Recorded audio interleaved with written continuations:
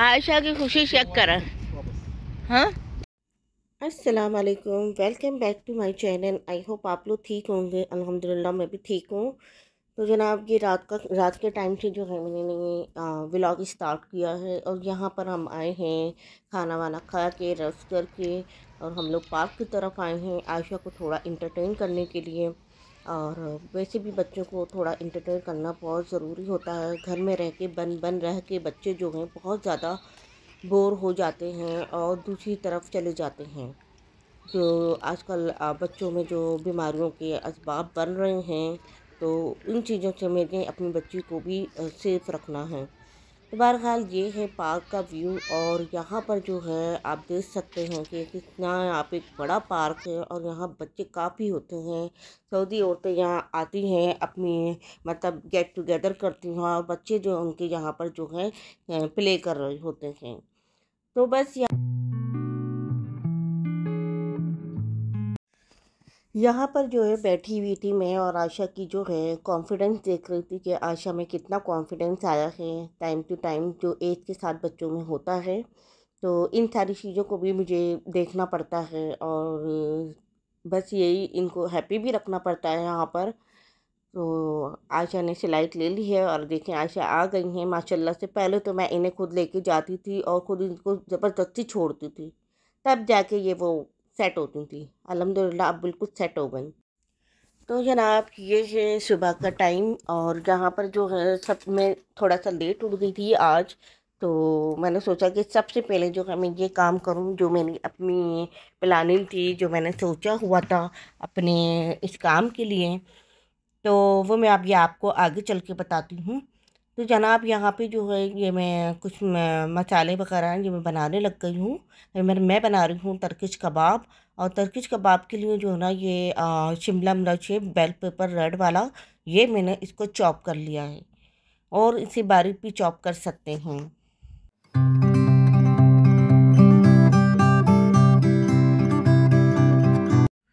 अब मैंने जो है, ये बेल पेपर जो है, इसे मैंने चॉप कर लिया था थोड़ा इस मशीन के अंदर।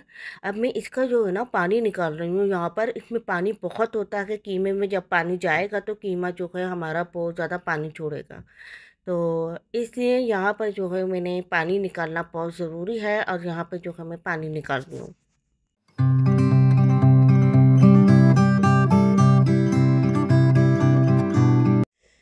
ये देखें जी कितना पानी इसमें से निकला है। अगर ये कीमे में जाता तो सोचें कि कितने कबाब ख़राब हो जाते। अच्छा जी, यहाँ पे जो है, अब मैंने प्याज को चॉप किया है। प्याज जो है, इसका भी मैं पानी बिल्कुल निकाल लूँगी। और ये मैंने एक प्याज लिए। ये देखें जी एक प्याज का इतना पानी निकला है तो ये भी मैंने डिस्कार्ड कर दिया। अच्छा ये कीमा है और कीमा मेरा तकरीबन आधा किलो का ये कीमा लिया है मैंने और इसको भी जो है मैं चॉपर में डाल के बारीक पीस लूँगी। और यहाँ पे जो मैंने डाली हैं साथ में हरी मिर्चें, आप चाहें तो इसे अलग से भी डाल सकते हैं कट करके।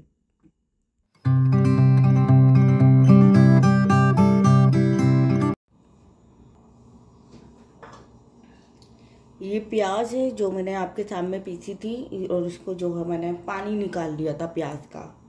और ये पार्सले है, ये मैं इसमें डाल रही हूँ। अच्छा पार्सले अगर जहाँ नहीं मिलता, वहाँ ड्राई पार्सले भी मिलता तो वो भी डाल सकते हैं। नहीं तो आप इसकी जगह हरा धनिया भी यूज़ कर सकते हैं। अच्छा जी। अब ये वो है जो मैंने शिमला मिर्च का पानी निकाला था अच्छे तरीके से, वो मैं इसमें डाल रही हूँ। लहसुन का पेस्ट मैंने इसमें डाला है। अब मैं इसमें डालूँगी कुटी हुई लाल मिर्चें और नमक। ये मैंने इसमें डाल हूँ। अब यहाँ पे जो है, मैंने थोड़ी सी पिसी हुई काली मिर्चें भी ऐड कर हूँ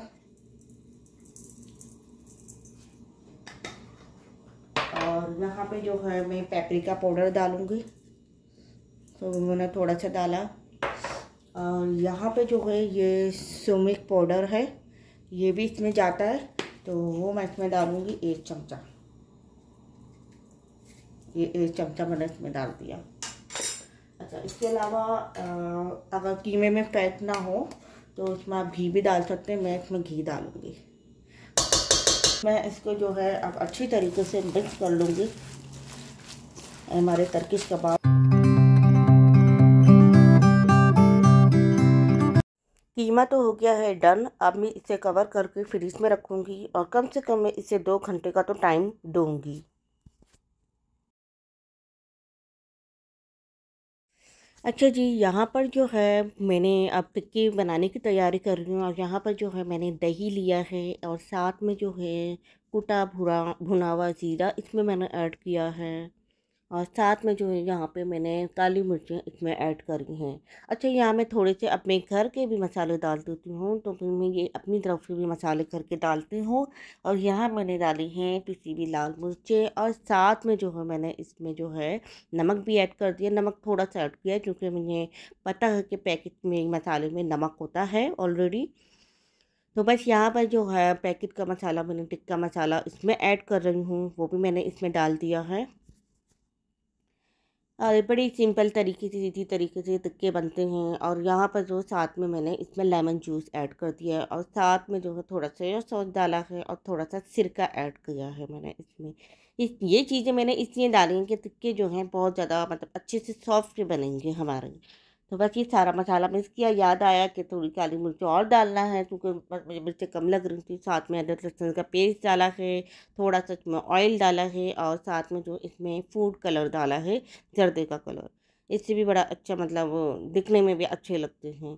तो बस सारी चीज़ों को मैंने जो है अच्छे से मिक्स कर लिया है और इसके बाद जो है मैं टिक्कों को मसाला लगा के फ्रिज में रख दूँगी। जब हम मैं तैयारी करूँगी, तब ही मैं ये साथ साथ करूँगी।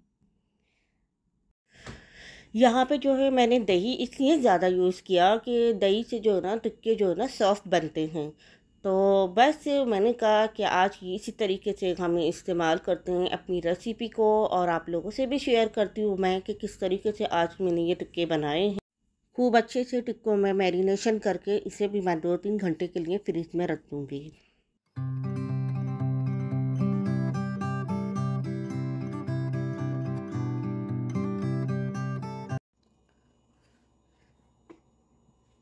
पता नहीं क्यों खाना बनाते में बर्तन इतने भर जाते हैं और ना दिल नहीं करता कि ये धोके रखो। खाना बनाने का शौक है भाई हाँ दिल चाहता है बस एक चक्कर में जो है ना, सारे बर्तन है ना, अपने आप ही वॉश हो जाए। लेकिन यहाँ तो वो वो तो खुद ही करना पड़ता है।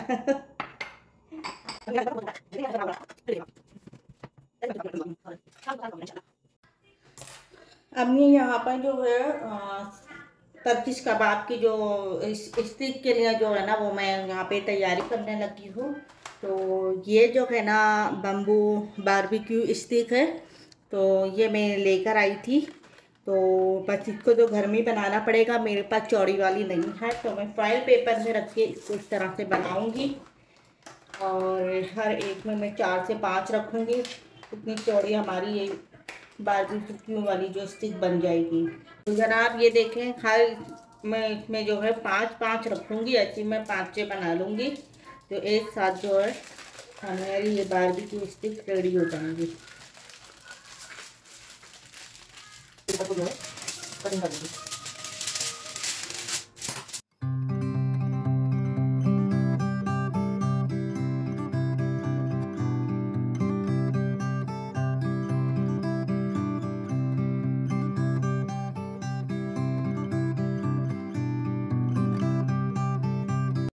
अब यहाँ पे जो है मैंने सैलड तैयार किया है। सैलड में जो है मैंने प्याज कट की है और खीरा कट किया है और साथ में पार्सले ऐड किया है। और काली मिर्ची, नमक और ऑयल और इसमें थोड़ा सा जो मैंने लेमन, जूस और सिरका ऐड करूँगी। बड़ा खट्टा खट्टा सा इसमें टेस्ट आएगा और ये जब हम टर्किश कबाब के साथ खाएँगे तो बड़ा ही मज़े का बनेगा, लगेगा। तो जनाब शाम का टाइम हो चुका है यहाँ खाने का टाइम हो भी चुका है और यहाँ पर जो है मैं तर्किश कबाब बना रही हूँ। इस तरीके से आप देख सकते हैं। पहले मैं, मैंने इसको हाथ पे रख के चपटा किया है और उसके उसके बाद जो है मैंने इस तरह से इसके कबाब बनाना शुरू किए हैं। कैमरा बिल्कुल मेरी सही पोजिशन पर नहीं था तो मुझे पता नहीं चला। बहरहाल इस तरह से मैंने ये टर्किश कबाब बनाए हैं, शायद आगे आपको भी दिखें। इसको सेट कर रही हूँ मैं अब यहाँ पे और इसमें मैंने डिज़ाइन डाल दिया है इस तरीके से। और बड़े मज़े के बनते हैं ये टर्किश कबाब और उसकी बहुत सिंपल सी रेसिपी है, ज़्यादा स्पाइसेस नहीं जाते इसमें। आपकी मर्ज़ी है कि आप इसमें मिर्ची ऐड करें, ज़्यादा या ना करें। तो बहरहाल इस तरह से मैंने पाँच जो बना ली थी सीखें और यहाँ मैं कर रही हूँ अपने हस्बैंड की दावत, जो मैं आपसे कह रही थी और आपको मेरे साथ, मेरे जो टाइटल पे जो है दिख दिया होगा कि मैं मैं क्या बना रही हूँ और क्या कर रही हूँ तो मैंने आज सोचा कि आज मैं अपने हस्बैंड के लिए दावत बनाऊँ घर में और उनको दिल खुश करूँ उनका। तो बस यहाँ पे जो है इस तरीके से मैंने ये सीखे बना ली थी। बिल्कुल रेडी हो गई थी यहाँ पर। अब मैं इसको जो है ग्रिल पैन पे जो है ऑयल डालकर इसको रख दूँगी। फिर बाद में जो है मैं इसको ओवन में ग्रिल करूँगी ओवन में इसको थोड़ी सी हीट दूँगी कि इसका कलर भी अच्छे से और आ जाए। तो जनाब यहाँ पे जो है टिक्कों का मसाला हमारा रेडी हो चुका था, इसको भी काफ़ी टाइम दे दिया था मैरिनेशन के लिए। अब मैं यहाँ पे इसको एक फॉइल पेपर में बिछा के इसे मैं रख दूँगी ओवन में। ओवन को मैंने पहले से प्री हीट कर लिया है और 180 डिग्री पे जो है मैंने इसको 20 मिनट के लिए बेक करने के लिए रख दिया है। टिक्के जो हैं मैंने रेडी करने के लिए ओवन में रख दिए हैं और अपने साथ में जो है तरकुश कबाब की जो है तैयारी करने लगी हूँ। यहाँ पे मैंने ग्रिल पैन में जो है थोड़ा सा ऑयल डाला है, ये डीप फ्राई नहीं होते और इस तरह से जो है मैंने सीखे जो हैं इसके ग्रिल पैन के ऊपर रख दी हैं। अच्छा यहाँ मैंने रखी तो मैंने दूसरी तीसरी रखने लग गई तो वो आ नहीं पा रही थी, क्योंकि सीखे जो हमारी थोड़ी सी लंबी बनी है। तो फिर मैंने जो है ना, इसको यहाँ से उतार हटा लिया था। फिर मैंने फिर मैंने इसे जो है प्लेन तवे पे रख दिया। फिर मैंने सोचा कि पहले मैं इसको इस तरीके से तवे पे सेक लूँ। फिर बाद में मुझे ओवन में डाल के इसको थोड़ा अच्छा सा कलर देने के लिए रख दूँगी। तो बहरहाल, यहाँ पे जो है हमारी सीखें मज़ेदार की तैयार हो चुकी हैं और साथ में जो है ये मैंने जो है इसमें टमाटर, प्याज भी डाल दिया था, वो भी थोड़ा सेक लिया था और इस तरीके से ये देखें मैंने ओवन में रख के इस तरह से इसको सेका है। ये इसकी पोजीशन है। अच्छा यहाँ पे जो है मैंने रोटी रखी है, जो यहाँ मिलती है खुबस रोटी, वो मैंने रखी है और साथ में जो है मैंने इसको तवे पे रख दिया था, सेक ली थी रोटी को और साथ में मैंने इसमें प्याज, ये सैलड वगैरह लगा दिया और अब मैं इसके ऊपर जो है तरकिश कबाब रखूँगी।